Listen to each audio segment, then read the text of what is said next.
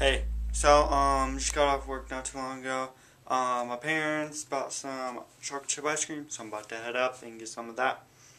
And then, I don't know, but uh, I'm probably going to chillax, watch some movies, and I'm actually pretty excited because I got about three vlogs uploaded today, and it's actually uploading, it's like halfway through the fourth one. So hopefully the fourth vlog will be uploaded today as well. So I'm almost into February, vlogs in February.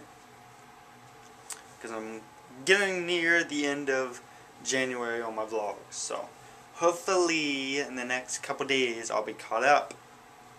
So yeah. But um yeah, so just catching up. That's all I really did today. Got off work and really that's all I did. Um, I decided not to get a shower or change or really anything, and I've just been working on that.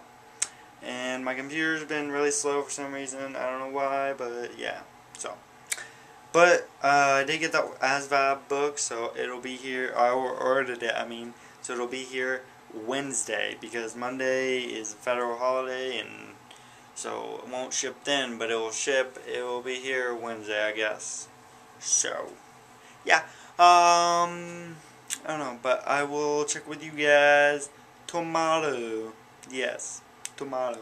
And tonight I want to try and figure out that um, my camera, or actually I'm just going to wait till tomorrow.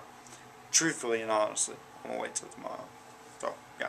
Alright, well I will check with you guys tomorrow. Alright. Bye.